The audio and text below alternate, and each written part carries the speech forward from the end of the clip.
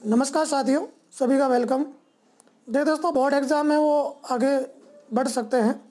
उसके पीछे क्या रीज़न है? कोविड के चलते शहरी क्षेत्रों में बंद रहे स्कूल तीस फ़ीसदी कोर्स भी अभी, भी अधूरा है। सवा महीने और लगेंगे पूरा होने में। तो आगे खिसक सकती है राजस्थान बोर्ड के एग्ज़ाम कोविड की तीसरी लहर लहर के बीच शहरी क्षेत्रों में बंद रहे स्कूल लेकिन दसवीं और बारहवीं कक्षा का अधूरा कोर्स अभी तक पूरा नहीं हुआ है।